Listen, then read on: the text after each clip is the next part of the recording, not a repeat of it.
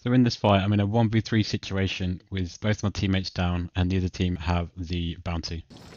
I notice here that there's two looking at me here, so I decided to pull back uh, and reposition.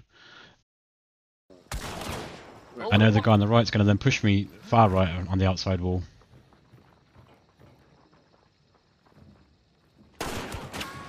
Shot. So I tagged him, but didn't kill him. Um, so what I do is try and distract him with a health bomb to then focus on the other two guys that I know are pushing.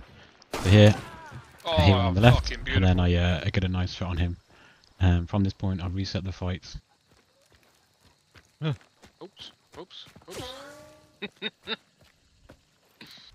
So what I try and do here is uh, see if I've got serpents, try and get the bounty, um, and then I get tagged from higher up, so I know at least one of the guys are in the uh, building above.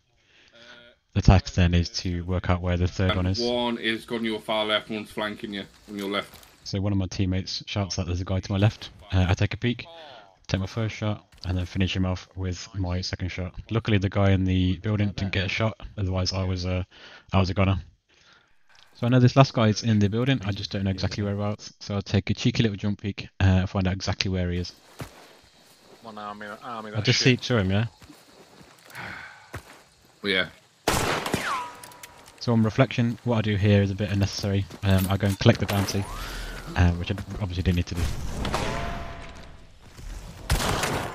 Good No way. shit. What a fucking Play. lad. Wow. Got him.